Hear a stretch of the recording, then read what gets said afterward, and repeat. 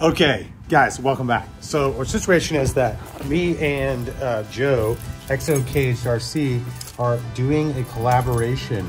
And what that collaboration is, is that he's gonna send me stuff in a box. I'm gonna send him stuff in a box. And we're gonna go from there. So I just got my uh, my first box right here. So um, let me get back into my neckbeard station and uh, open it up. Got some packing stuff. Uh, some more packing stuff. I don't know who these pack of screws are for, but there is a cajillion. What is this about? Okay, this, so these are these are giant wheels. What are these about? Oh, and the mystery package. See, look, so look, let me just show you a comparison. So when, when we're talking about the stock foams, what happens with stock foam versus a steady foam in the long term is that these foams are gonna wear out. The steady foams are gonna break in. Like they're, they're it's like look look what just happened in this package and look at this one. This one came out of a tire. Here's a solid one. Here's the other one. All, here's the stock one, all dented up. But yet the steady foam is in the exact shape it's supposed to be the entire time. So, but I believe these are the nuts for that. So that is a complete wheel set for something. Oh, ho, ho, look at this. This is um, this is the Mamba X Monster X 8 scale waterproof electronics for 6S. I'm I think this what this is for.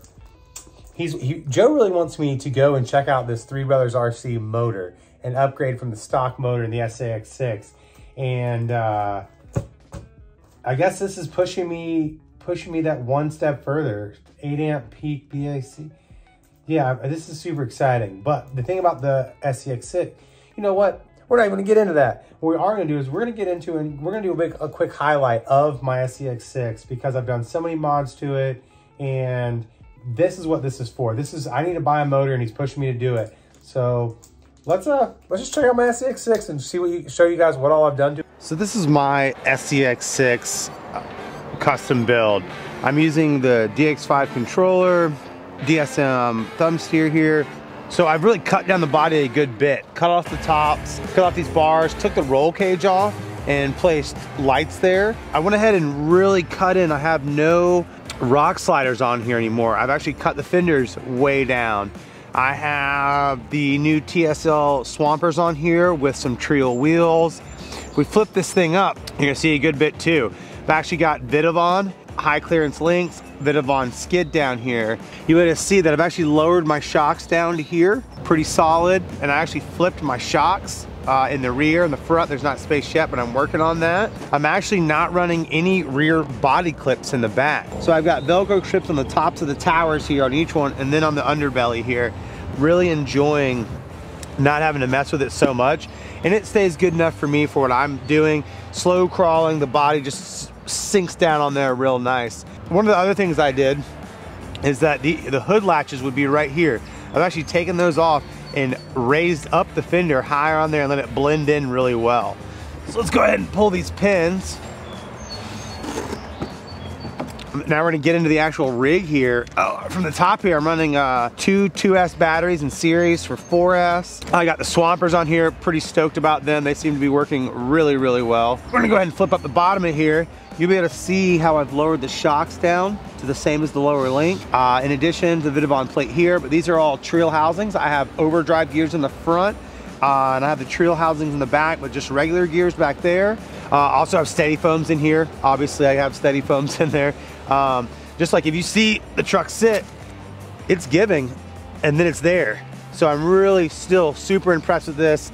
Uh, with the steady foams, they've been doing super well. So in the back, what I've done a little bit differently is that I put a front bumper into the rear and I have the mounts for the servo now back here. So I'm not sure what I'm gonna do. We're gonna see what happens with all that. But you know what?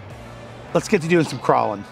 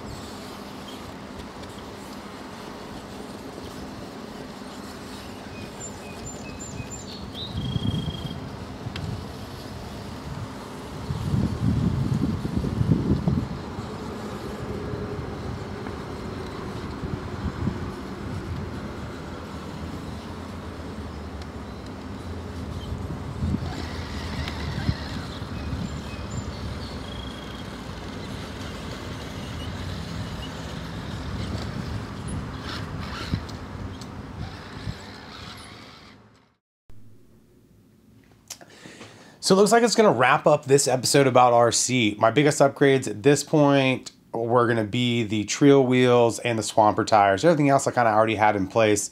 And really stoked that I had the steady foams in there because the stock ones are just really lacking. If you see other people's videos, there just needs to be more, more volume inside of there. And the steady foams create a better damper, I believe. Um, I'm from mountain biking, so that's a term we would use but stoked that I have them. I'm stoked to get out there and do some bigger climbs on them, some drier rocks. I found a secret spot near my house that I'm gonna go check out soon to go ahead and test these out some more and do some more crawling. Hope you guys enjoyed a little view of what how I've customized my SCX6.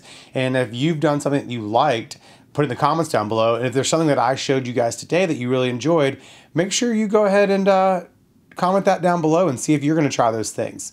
Until next time, steady crawling and go ahead and check us out on Instagram as well and Facebook for those steady foams. See you on the next one.